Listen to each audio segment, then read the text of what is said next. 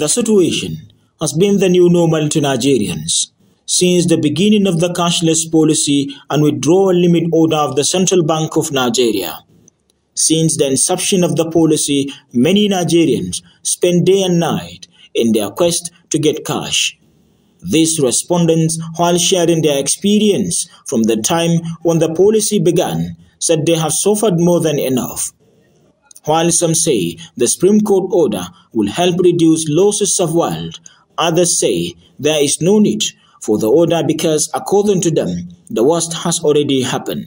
We, we didn't feel happy with what they are doing because um, we come with our different cases.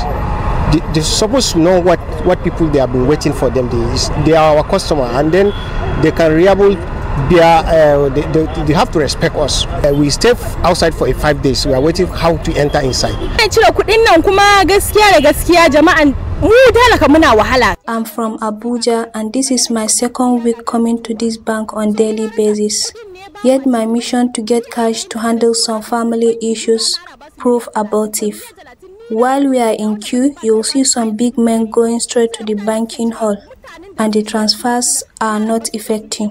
yanzu magana da nake gaya ma na zo neman cash kwana na uku ina layi yanzu right from day one i knew that the policy will be reversed because it have brought nothing but hardship to nigerians look at me i'm here since 4 a.m on queue trying to get some cash but after this moment the Supreme Court extending the lifespan of the old Naira note till the end of December may be a huge relief for many.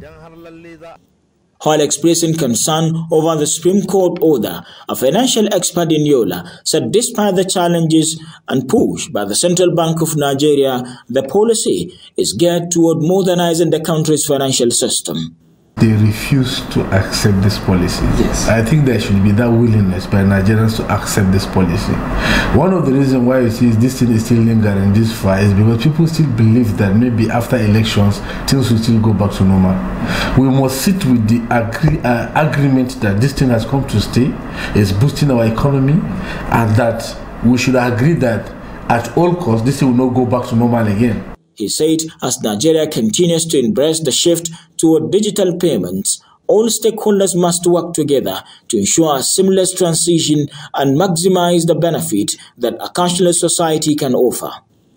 Silas Lawan, Trust TV News, Yola.